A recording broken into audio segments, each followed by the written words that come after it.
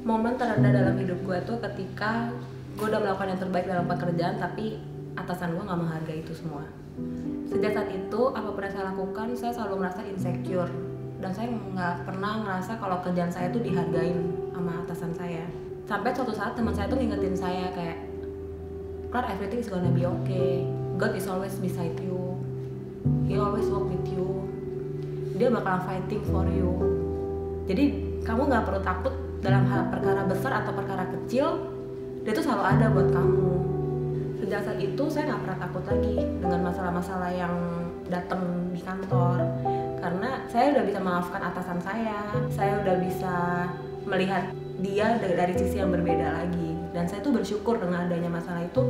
Berarti saya tuh tunduk dengan apa yang Tuhan inginkan dalam hidup saya. I am an evidence of